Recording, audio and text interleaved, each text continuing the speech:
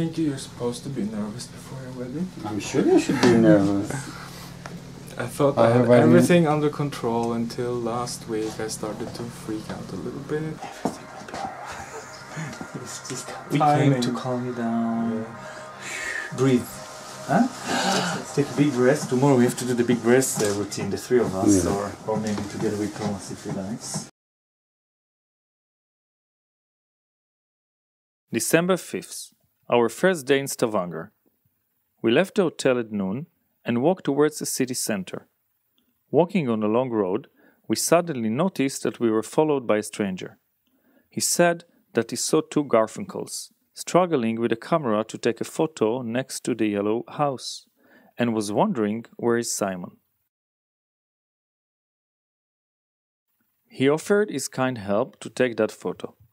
We instead suggested him to join the picture.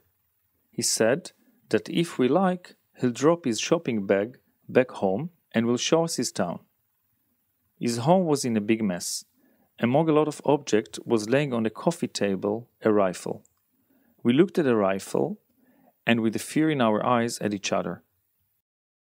Tommy, who is also a graffiti artist, showed us his art. We went together to town and jumped from one cozy cafe to the other. Tommy showed us the beautiful old city and the hidden sides of Stavanger. During the day, we also learned to know the inner world of Tommy and the complexes that troubles him. At the end of that long day, we offered him to spare our skills in return to his hospitality and help him to organize his private life. We were back at midnight to the hotel, too excited so we could not fall asleep. We were only the two of us at the hotel bar and wanted so much to have a glass of wine, but thinking about Tommy, we ordered instead a bottle of sparkling water when the music of a familiar song was playing.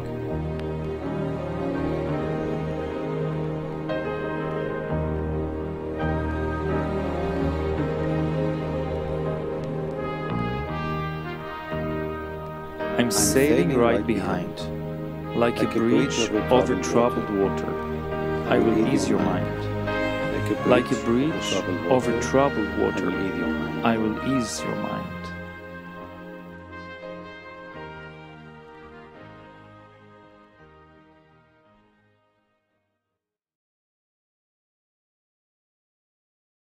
December 6th. Hello, guys, and thanks again for a really beautiful day yesterday.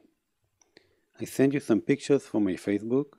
I could not find you there, so I mailed you some instead.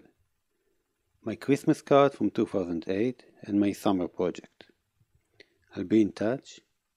One love, Tommy. December 6th. Dearest Tommy, we were so excited yesterday and got up early today and we're spending all day long in the museum.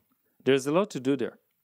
We told people shortly about you and about our future project, and they were all very positive. Big warm hugs, Gil and Moti.